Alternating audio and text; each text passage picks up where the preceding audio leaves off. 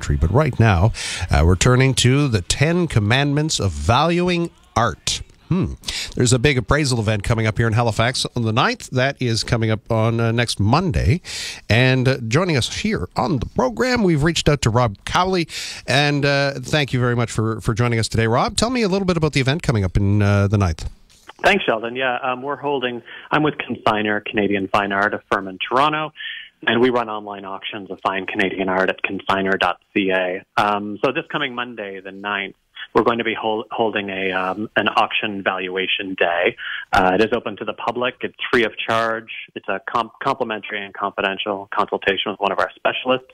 We're going to be at the uh, Halifax Delta Barrington between 10 and 5 this coming Monday. And people can bring in their works of art, up to three items they can bring in, and we're happy to take a look and provide our thoughts with regard to uh, value at auction yeah. for, the, for those pieces. Very much like what uh, we would say, air quotes here, like the Antiques Roadshow, where people will bring an item and they're they're trying to get a, a sense of its value. Do you give them an, a sense of the value for auction or for appraisal or for insurance? What exactly is the number they're going to get? Well, it's, it's a verbal valuation for auction purposes. Um, any other type of appraisal you get into usually have to be a bit more formal, usually require a bit more research as well, and tend to be written appraisals at that point. So what they receive from us free of charge is um, is a valuation, a verbal valuation for auction purposes. All right. So it's uh, kind of a, a rough guesstimate. Is that the best way to put it? It's a guesstimate. It is. It is with auction. Everything that is valued at auction um, within the, the, Ten Commandments that we'll discuss, it is based on the past performance of similar work, um, usually by the same artist uh, within the auction market. So while it is a guesstimate, um, in in one sense, it really is based uh, based on the market.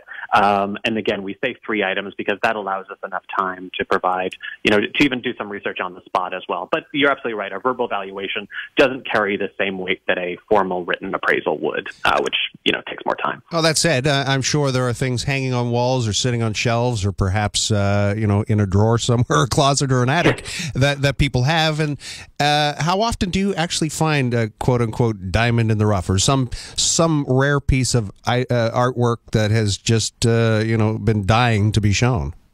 It does happen. Um, obviously, it's more of it becomes more of a challenge uh, each year with competition, but also with the internet, where people can can many times look up the name that's written, as, you know, that's printed on a painting or a print or a watercolor. Um, however, it still does happen. Uh, we held an appraisal day in our gallery um, last spring, actually, and a client brought in about four or five paintings. And the first four, which he thought were valuable, were just kind of copies of, uh, of old master paintings, didn't carry much value at auction. Uh, the fifth painting was almost a throwaway for him. He just kind of said, well, what about this? And it's funny, my colleague and I almost thought it was, you know, we couldn't believe uh, that, that, you know, that, that the situation was unfolding. It was actually a painting by William Kurelek, um, who is a Western Canadian artist, a prairies artist, and lived in Toronto as well. He has a very, very strong market at auction. Over the past 10 to 15 years, his market has exploded at auction. And so it was a little painting, only 10 by 5. Um, they thought that it would have a little bit of value. Um, the estimate we gave them was fifteen to twenty thousand dollars for the painting. Wow!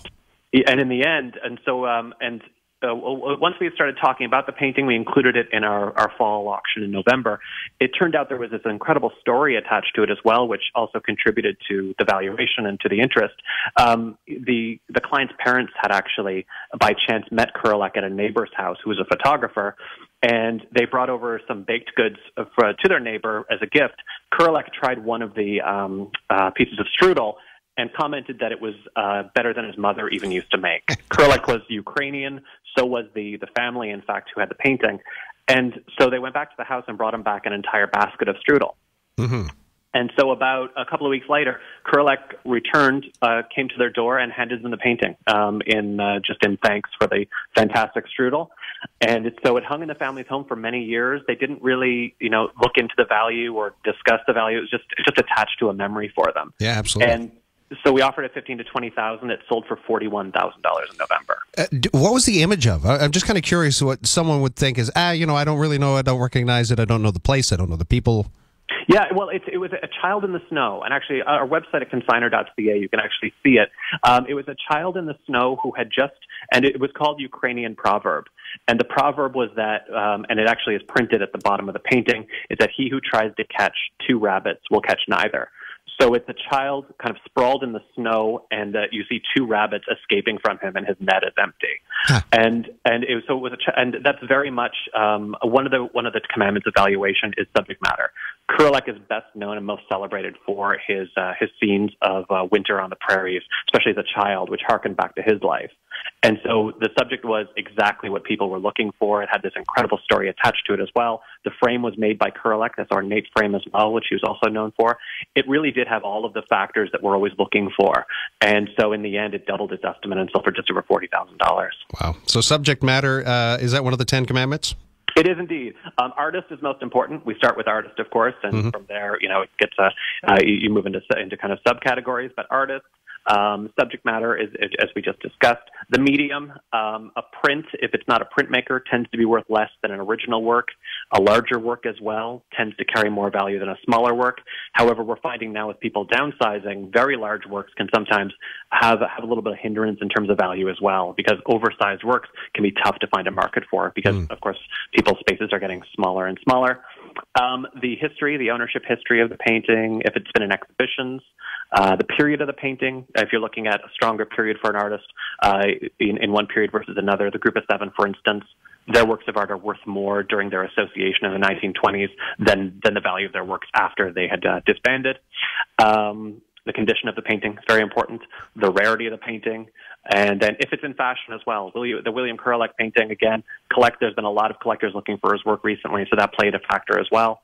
And then you pull it all together with connoisseurship, which really is just the, uh, it comes back to the experience of the appraiser, kind of pulling everything together, their experience with a particular artist or a particular movement, and um, and being able to, uh, to, to to find some direction with value uh, starting there as well. Well, I, have been across the country, and I, I, you know, in Saskatchewan, if it's hundred years old, that's old. Uh, does yeah. Consignor Canadian Fine Art like coming down here to the Maritimes, where we have, you know, at least uh, 250 years of history? Oh, absolutely, we do. Uh, we find works quite often.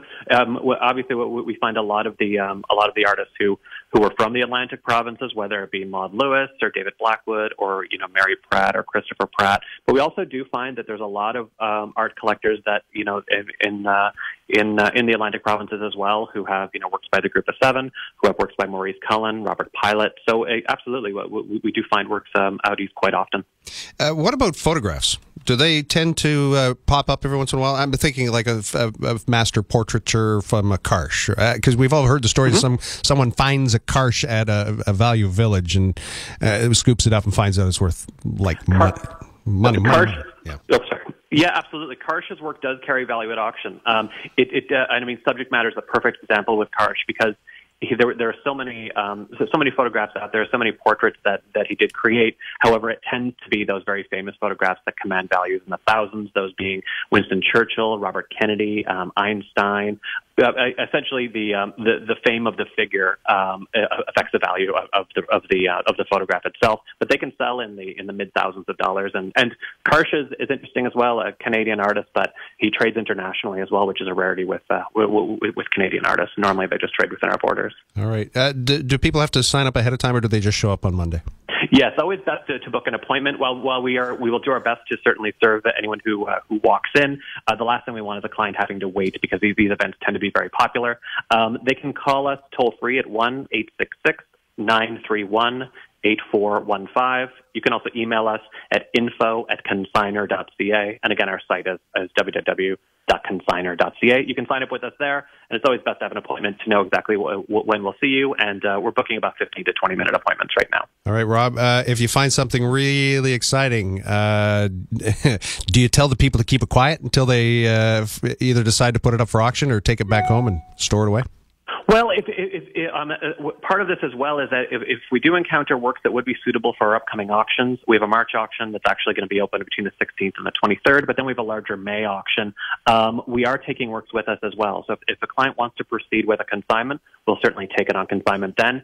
Uh, the Kurelek was a good example, actually. Um, we, we, didn't go heavily in terms of promoting the artwork until we were a couple of months before the auction um, to, to, to, really capitalize on, uh, on as much interest as possible, and the story was picked up uh, nationally uh, leading to the auction, so the timing worked out very well.